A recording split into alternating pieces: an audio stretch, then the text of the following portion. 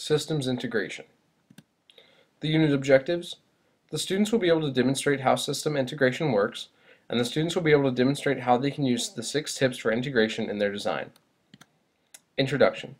Each team then designed a drivetrain in Unit 9 and a lifting mechanism in Unit 10. These subsystems now need to be combined with other parts of the robot in such a way that they function together. Systems integration.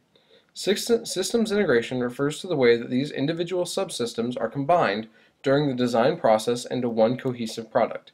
This is not something that happens at the end of the design process after each subsystem has been designed, but rather something that is integral to the process. During the design process, it is important to think about the ways each subsystem will affect and interface with the others. The robots are typically divided down into subsystems that perform different functions, some of these systems will stretch throughout the robot, while others will consist of a, only a single mechanism. Power, control, sensors, pneumatics, drivetrain, lifting mechanism, and object manipulator. Tips for integration. Whatever types of subsystems are being integrated, it is important to keep several things in mind. Remembering these basic principles will help create a better overall system.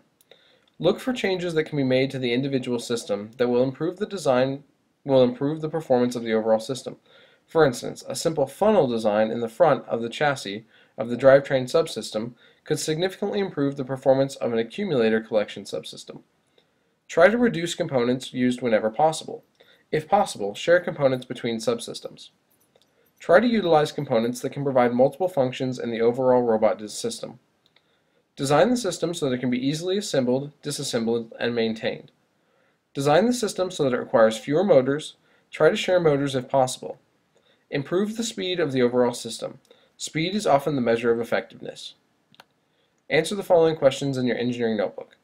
How does the process of system engineering allow for the development of a well-integrated structure? And how does integration of system engineering early in the design process provide benefits to the overall design?